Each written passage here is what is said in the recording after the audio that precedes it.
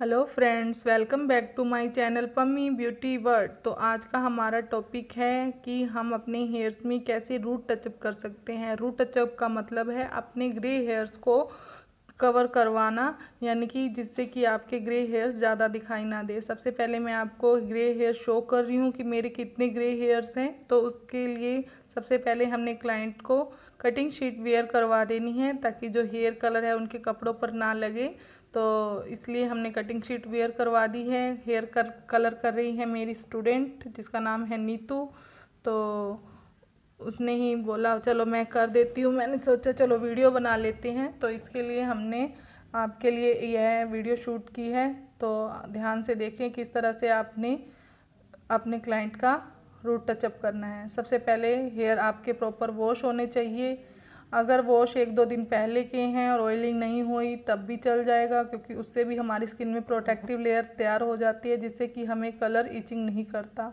जो हम कलर कर रहे हैं, वो लोरियल का है, जो कि एक अमोनिया बेस्ड कलर है। जो जितने भी अमोनिया बेस्ड कलर होते हैं, वो परमानेंट कलर होते हैं, पर रूट्स का टचअप करवाने के जो पंद्रह बीस दिन बाद जो हमारे नए बाल होते हैं, उन वो उसमें कलर नहीं होते, क्योंकि ये ऊपर से ही हेयर कलर में कलर करता है। तो सबसे देखिए लोरियल की हमने फाइव नंबर ट्यूब ली है, जिसकी मिक्सिंग रेशियो रहेगी one is to one and point half यानी कि वन इज़ टू वन होती तो दोनों की मिक्सिंग रेशो बराबर रहती, पर इसमें जो मिक्सिंग रेशो हमेशा ट्यूब पर लिखी होती है तो आप हमेशा पढ़ लें कि कितनी मिक्सिंग रेशो है तो इसकी मिक्सिंग रेशो थी कि जितनी ट्यूब है उससे डेढ़ गुना आपने डेवलप पर लेना है। और अच्छे से ट्यूब में से जितना भी कलर आपको रिक्वायर है क्लाइंट के हेयर्स के अकॉर्डिंग निकाल लें। एकदम से बहुत सारा कलर ना निकालें अगर आप फुल हेयर पर हेयर रूट टचअप कर रहे हो क्योंकि फिर इससे कलर की इंटेंसिटी भी कम होती चली जाती है टाइम के साथ साथ अब हमने यूज़ करना है ट्वेंटी वॉल्यूम का डेवलपर जब भी आप रूट टचअप करो तो आपने ट्वेंटी वॉल्यूम का ही यूज़ करना है। कभी भी थर्टी या फोर्टी वॉल्यूम का यूज़ नहीं करना, क्योंकि थर्टी और फोर्टी वॉल्यूम से आपकी स्किन बर्न हो सकती है और वह रूट टचअप के लिए नहीं होता। वह हाईलाइटिंग या प्री लाइटनिंग के लिए ही होता है। तो देखिए, डेढ़ गुना डेवलपर लेना है बोतल को अच्छे से शेक कर लेना है यूज़ करने से पहले। फिर कलर को अच्छे से मिक्स करना है, क्योंकि आपकी मिक्सिंग बहुत ज़्यादा मैटर करती है तो आप फिर अच्छे से कलर को मिक्स करें। मिक्स करने के बाद आपने सेक्शनिंग करनी है, जो कि हमने पहले ही आपको शो कर दिया इस तरह से सेक्शनिंग की गई है। तो अच्छे से बालों में कलर को करने से पहले आपने ध्यान देना है कि अगर आप फुल हेयर्स का रूट टचअप कर रहे हो तो आप स्टार्टिंग से ही कलर लगाना शुरू करें, यानी फ्रंट से कलर लगाना शुरू करें।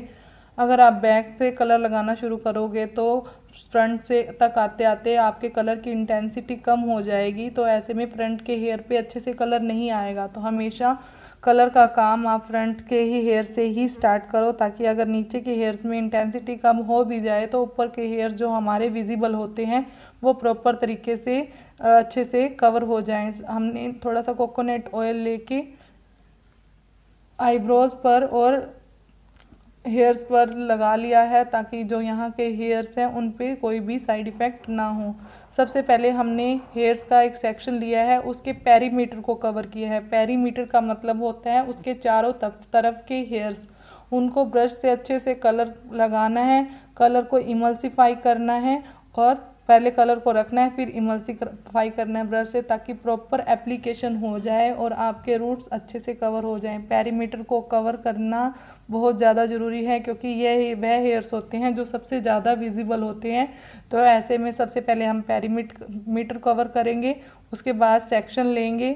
छोटे छोटे सेक्शन लेने हैं ताकि प्रॉपर हेयर कवर हो जाएँ और कलर लगाएँगे ब्रश से इमल्सीफाई करेंगे और फिर उसे कान के पीछे लगा देंगे। अगर आपके क्लाइंट के कानों पर हेयर लग रहा हो तो कलर लग रहा हो तो आप ऐसे में उनको फॉयल रैप पहना सकते हैं या फिर ईयर कैप भी लगा सकते हैं। तो इस चीज़ का भी आप ध्यान रखें। अगर कलर कानों पे ना लग रहा हो तो ऐसे ही आप उसे कर दें। देखिए किस तरीके से प्रॉपर एप्लीकेशन हो रही है। जितने भी बेबी हेयर्स हैं वो भी आपने ज़रूर कवर करने हैं, क्योंकि फिर वो छोटे छोटे हेयर कलर जो, वो जो होते हैं, वो अच्छे नहीं लगते। यदि रूट टचअप करना है तो लाइट कलर की ट्यूब का यूज़ करें, क्योंकि वो ज़्यादा आपके हेयर्स के हिसाब से अच्छी लगती है, क्योंकि अगर मेरे हेयर्स का कलर चार नंबर है तो मैंने पाँच नंबर ट्यूब का यूज़ किया है तो कि मैं थोड़ा सा light side light side colour का, की साइड जा सकूँ। गोरे रंग वालों पर रूट टचअप पाँच या छः नंबर का अच्छा होता है। मीडियम रंग वालों के लिए पाँच नंबर का, सामने रंग वालों के लिए तीन और चार नंबर का रूट टचअप ठीक रहता है। और कई बार ऐसा होता है कि क्लाइंट के हेयर ज़रूरत से ज़्यादा वाइट हों तो आप उनकी जो कलर उनके हेयर से मैच करता है, वही कलर आप उनके उनके हेयर्स में करें। स्किन पे फोरहेड पर, कान पर बिल्कुल भी कलर नहीं लगना चाहिए। कलर का टाइम पूरे बालों में रूट टचअप होने के बाद ही स्टार्ट होता है। कलर टपकना नहीं चाहिए। मिक्सिंग रेशो कंपनी के अकॉर्डिंग टू ऊपर लिखा हुआ होगा। किसी भी कैम, केमिकल को का ट्रीटमेंट पहले हेयर वॉश करना ज़रूरी है इन यूर सैलोन। अगर घर से करके आए तो वो भी अच्छे से बिल्कुल प्रॉपर वॉश होना चाहिए।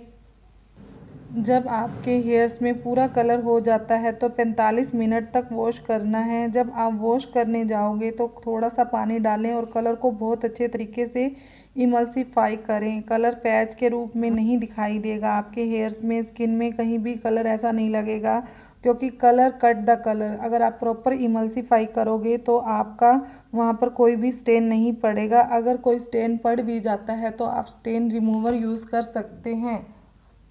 परमानेंट कलर जिस कलर में अमोनिया होता है, वह परमानेंट कलर होता है। कई बार एक हफ़्ते बाद या दस दिन बाद क्लाइंट आता है और बोलता है, आपने बोला था यह कर परमानेंट कलर है। ऐसे में ध्यान से चेक करें कि क्लाइंट कहाँ से बाल ग्रे हुए हैं। उनके बाल दस दिन में जो रीग्रोथ हुई है, वही बाल ही हेयर ग्रे दिखाई देते हैं। कस्टमर को बोलो, आपकी न्यू ग्रोथ पर ही वाइट हेयर कलर क्यों है? क्योंकि हमने रूट के ऊपर काम किया है। रूट के अंदर हमने काम नहीं किया तो वाइट हेयर जो आएँगे, वो वाइट ही रहेंगे। तो उन्हें बोलो कि आप फिर से रूट टप चप करवाएँ।